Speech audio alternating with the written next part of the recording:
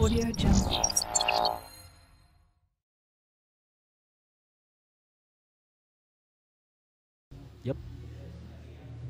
Rồi, alo xin chào tất cả các bạn, mình là Nghĩa và hôm nay mình sẽ cùng nhau review cho các bạn bộ bài đó là bộ à, à uh, NHB Blanca của Diary 11 à, Diary 11 chứ.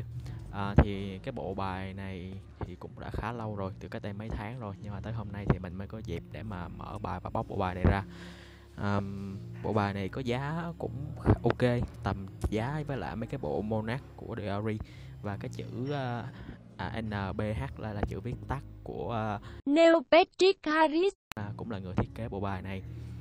À, các bạn có thể thấy ở trên màn hình à, trên bộ bài cũng đã có ghi luôn. À, đó và phía gấp bộ bài này cũng là made in United States. Ở tại Mỹ.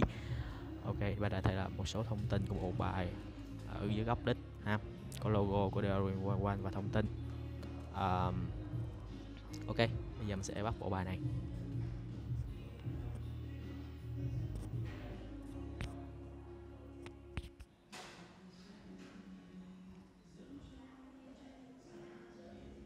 Bóc sao đây? Mấy cái bộ bài in ở USBCC dạo này nó khó bóc cách kỳ lạ.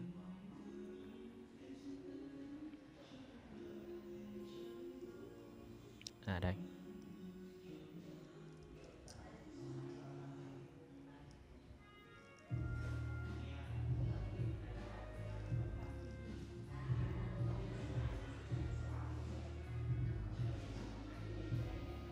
Ờ, xé tem. À thôi. À, mấy bộ của đều liên quan thường thường nó là dạng bóc tem.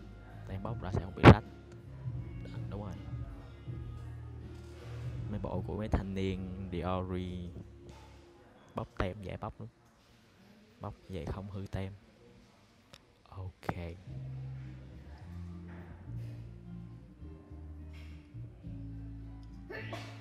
Ok các bạn có thể thấy à, cái hình giống như là bóng đèn có hai cái xét ở hai bên in nổi luôn.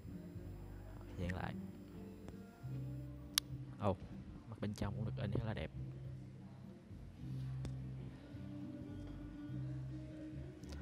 Rồi dùng cái hộp bông bên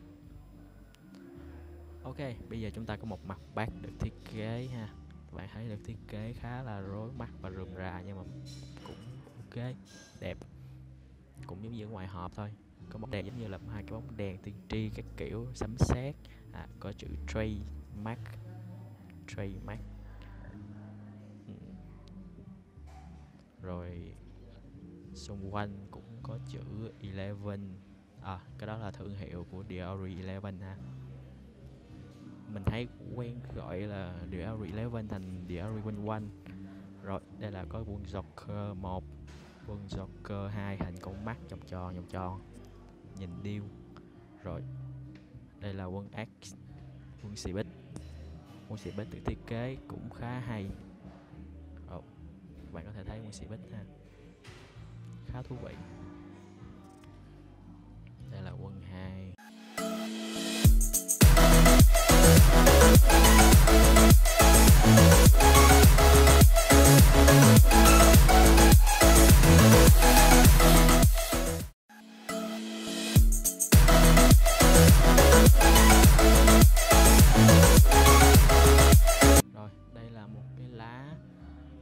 à, không biết để làm gì.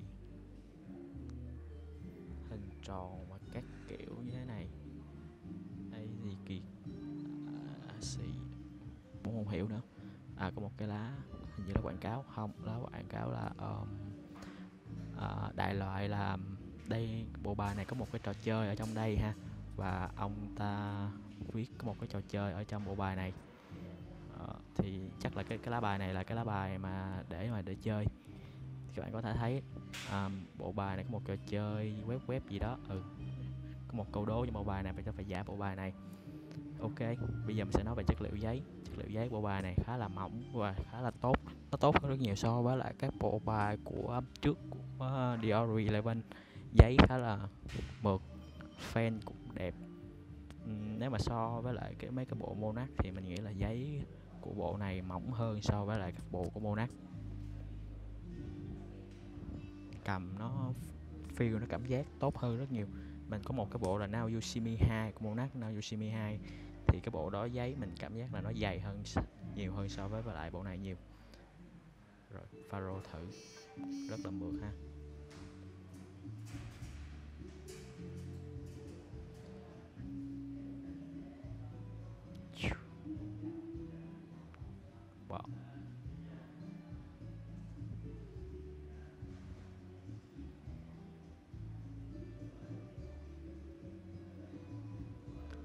Rồi, đó là những gì mà mình có thể rồi review về bộ bài này. Cảm ơn các bạn.